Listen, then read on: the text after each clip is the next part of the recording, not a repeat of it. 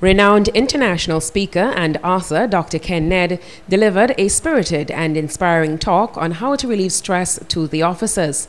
The hope is that the session will help officers in improving their health and extending their lives. Dr. Nedd began by advising the officers that no amount of success in their career can make up for failure in their health.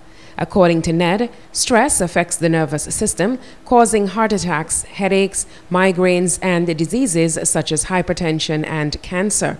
He says when one is stressed, a message goes to the premotor area of the brain and showed the officers how to reverse the stress response with TRIM. So, what you want to do first is tense, and then you relax and inwardly sweep the tension out of your body. And then you use this exercise. Everybody, hands out and say, My arms and legs are heavy and warm. Dr. Nedd also taught the officers the three secrets to longevity. The first one that is associated with a long and healthy and joyous life, the first thing is one, you have to be conscientious. And the second thing is exercise. Are you going, I want you to commit to me, if you don't already exercise, that you're going to find a way to exercise. The third secret, Dr. Nedd advises, is to always be happy.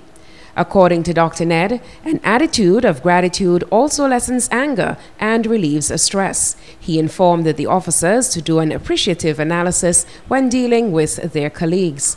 One officer had this to say in response to the lecture. I never recognized that to live stress free is so inexpensive. I thought that um, I would have to go to the doctor's shop and be on the table and some doctor telling me you have to eat right, drink right, sleep right, you have to get this, get that.